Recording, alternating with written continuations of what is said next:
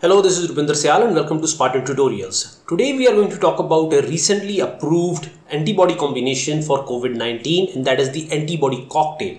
It has been recently advertised to be available for sale on this Monday and so 24th of May and this is available for COVID-19 patients and this has been authorized on an emergency basis by government of India as well as the uh, Food and Drug Administration of US. So let's talk about what is this antibody cocktail.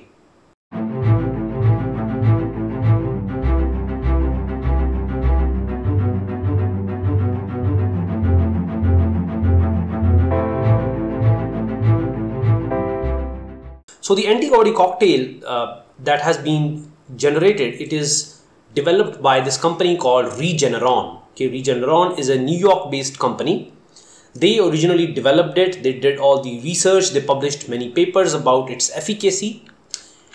And what is this antibody cocktail? It is not approved and it is only authorized for emergency use. I would like to mention that ex-president of USA Donald J. Trump, he was prescribed this exact antibody cocktail okay, on a compassionate ground.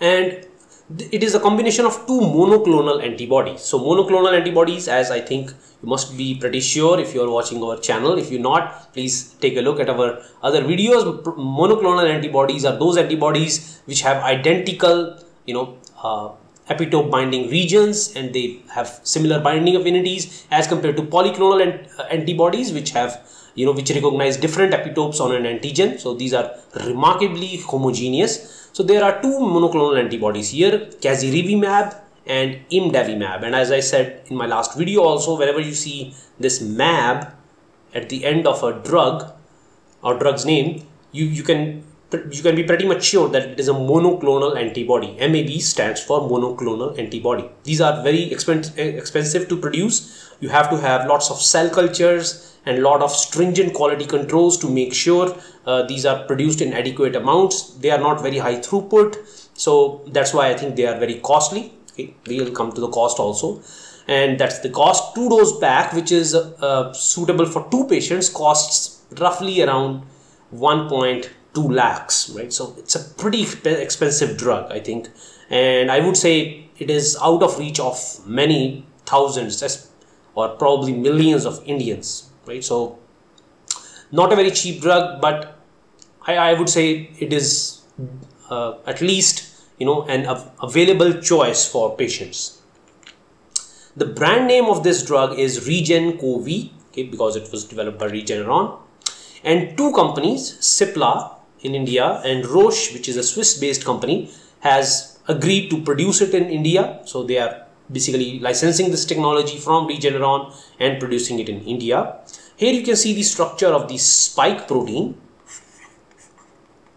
So they, they did extensive structural analysis on the spike protein as well as how the antibodies are binding to it. So here you can see the two different antibodies uh, labeling labeled in two different colors how they bind to the uh, spike protein. So what happens is these antibodies should be produced when we get COVID-19 vaccination and that's what provides us with long-term immunity. It produces memory B cells later on and so we are pretty much immune to COVID-19 later on. But some people may not have that those antibodies and they are already at the advanced stage or they are already you know pretty much close to the threshold of developing COVID-19 symptoms. So I think this drug is very useful for that because antibodies can neutralize these viral particles which are present in the blood. So how do they do that?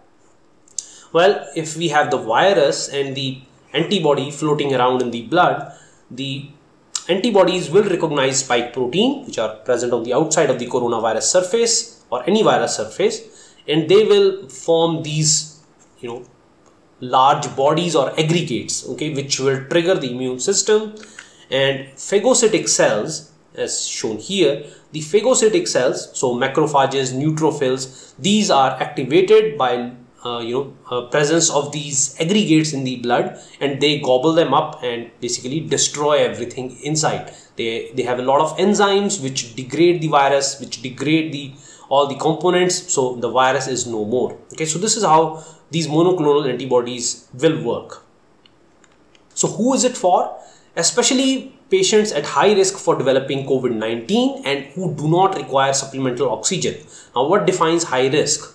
People who are already immune compromised, so those who have weak immunity, for example, somebody who has undergone kidney transplant, somebody who has undergone chemotherapy recently, somebody who has, for example, low birth weight, although it is not prescribed for children, but adults who have very low weight, right? So they have deficiencies in their immune system uh, stem cell transplant patients, any type of immune compromised people will benefit from this drug. Okay, and this combination, why do we have these two antibodies? Mm, technically, one should be more than enough, but this combination is provided to prevent the de de uh, development of antibody resistance because what happens is this two pronged attack on the spike protein will delay and will hopefully prevent the development of antibody resistance. Just like antibiotic resistance this is antibody resistance. So spike protein may evolve to change its structure so that it is no longer bound by these antibodies and that will make these antibodies ineffective and to prevent that this combo is provided. Okay? So that was my discussion of antibody cocktail. As i said it is available in markets as well as in uh, authorized government hospitals as well as private hospitals starting from this Monday. So that is 24th of May. It has already passed. So I hope you found this information useful. Please let me know if you have any doubts, comments or questions about it. Thank you for watching and I'll see you next time.